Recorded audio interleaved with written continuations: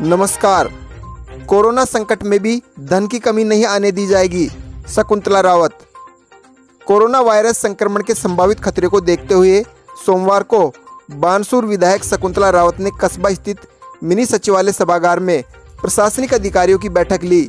बैठक में चिकित्सा विभाग के थानागाजी, बीसीएमओ डॉक्टर योगेश कुमार व चिकित्सा अधिकारी प्रभारी डॉक्टर इंद्रदेव यादव से विधायक रावत ने क्षेत्र में फैल रहे कोरोना संक्रमण सहित पीएससी सीएससी पर कोई चिकित्सा संसाधन की कमी तो नहीं है इसकी जानकारी ली। उन्होंने अपने विधायक निधि से क्षेत्र में कोरोना महामारी से लड़ने के लिए आवश्यक मेडिकल संसाधन खरीदने के लिए पाँच लाख रुपए तथा ग्राम पंचायत को एक लाख रुपए देने की घोषणा की और कहा कि कोरोना संकट के समय भी, भी क्षेत्र में धन की कमी नहीं आने दी जाएगी। इसके उपरांत भामासा सतीश खंडेलवाल शंकर खंडेलवाल चुन्नीलाल खंडेलवाल नरेश खंडेलवाल कुलदीप खंडेलवाल ओम प्रकाश खंडेलवाल द्वारा नारायणपुर सीएससी कोलाडा पीएससी को पाँच ऑक्सीजन कंसंट्रेटर सहित अन्य चिकित्सा संसाधन दिए गए। इसके लिए विधायक रावत ने भामासा का आभार जताया तथा विधायक शकुंतला रावत ने थानागाजी एसडीएम डॉक्टर नवनीत कुमार, तहसीलदार हरीश भाटिया, चिकित्सा अधिकारी प्रभारी डॉक्टर इंद्रदेव यादव के साथ पुरुषोत्तम आश्रम में 20 बेड का कोविड सेंटर बनाने के लिए निरीक्षण किया। इस मौके पर बामासा प्रतिनिधि सुभाष गंगावत ग्राम विकास अधिकारी गिरिराज मीणा, विजयपुरा सरपंच मोहनलाल वर्मा, खरकड़ी सरपंच भागीरथ सैनी, कोलाडा सरपंच अमिता यादव, पूर्व उप सरपंच भवानी शंकर सैनी, राजू प्रजापत बैरूसाय रैगर सहित बड़ी संख्या में लोग मौजूद थे। आज मैंने इसलिए मीटिंग करी है क्योंकि कई बार प्रशासनिक अधिकारियों को मैंने कहा कोई कमी तो नहीं है।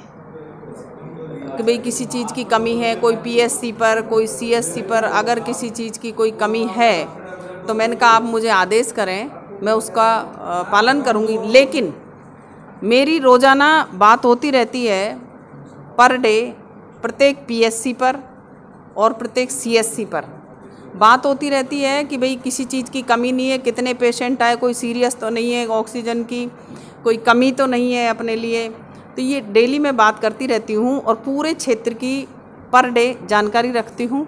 सारा मेरे पास लिखा हुआ भी है कौन से दिन कितने पेशेंट आए कितने ठीक हो गए कितने होम आइसोलेट हैं और आ, कितना क्या क्या किस किस की कोई डेथ हुई है किसी को कोई परेशानी हो तो मैं उनकी मदद करने के लिए हर समय तैयार रहती हूँ क्योंकि बांसुर विधानसभा क्षेत्र पूरा मेरा परिवार है और परिवार की सेवा करना मेरा फ़र्ज़ है कर्तव्य है कर्म भी है धर्म भी है।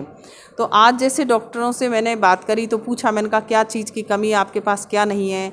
छोटी छोटी चीज़ें जो होती हैं वो बताते नहीं है तो इसलिए मैं खुद उनसे पूछा तो ऑक्सीमीटर है जो नापने का है ऑक्सीजन है या थर्मामीटर जो ये नापने का हो वो, वो क्या फीवर नापने का होता है। और जो चीज़ें हैं जैसे आज बताया कि भाई हमें जनरेटर चाहिए साइलेंट वाला तो और थ्री नाइन्टी ये जो थ्री लेयर वाले मास्क हैं और नाइन्टी वाले मास्क हैं तो ये सारे चाहिए एन नाइनटीन के। तो जो जो आवश्यकता है, मैंने कहा अभी जो, अभी तो है इनके पास। बाकी किट देना है एन नाइन्टी फाइव मास्क है थ्री लेयर वाले मास्क हैं, या थर्मामीटर है ऑक्सीमीटर है, जिस जिस की भी आवश्यकता है जनरेटर है, सब चीज़ की मैंने इनको लिख के आज ही दे देंगे। जल्दी से जल्दी ये खरीद लें। तकमीना के हिसाब से पैसे की कोई कमी नहीं आने दी जाएगी। सरकार की तरफ़ से सम्माननीय मुख्यमंत्री अशोक गहलोत जी का हम बहुत बहुत धन्यवाद और आभार व्यक्त करते हैं कि वीसी के ज़रिए पूरे राजस्थान की वो एक फीडबैक लेते हैं, जानकारी लेते हैं और जो युवाओं को फ्री वैक्सीनेशन किया है, ये एक बहुत सराहनीय कदम है।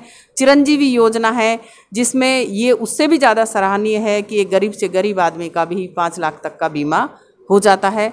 धन्यवाद और आभार है। सरकार की तरफ़ से और मेरी तरफ़ से कोई कमी नहीं रखी जाएगी।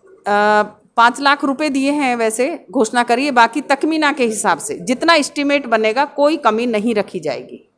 ग्राम पंचायत को एक लाख रुपए देने की घोषणा करिए वैक्सीनेशन में जो बाहर अदर स्टेट के जो लोग यहाँ पर आकर के वो रजिस्ट्रेशन जो प्रक्रिया है ये आ, अपने यहाँ की स्पेशल नहीं है कि भाई यहीं से उसमें पूरे देश में कहीं भी करवा सकता है कोई।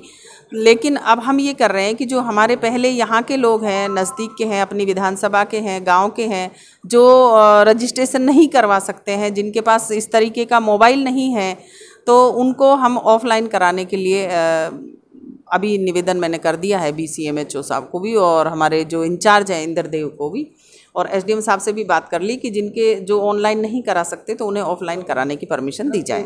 नारायणपुर एक नारायणपुर ब्लॉक पूरा है, जो तहसील नारायणपुर है, उसमें सैम्पलिंग मुंडावरा भी हो रही है, अपने गढ़ी भी हो रही है, और कोलाडा भी हो रही है, और नारायणपुर भी हो रही है।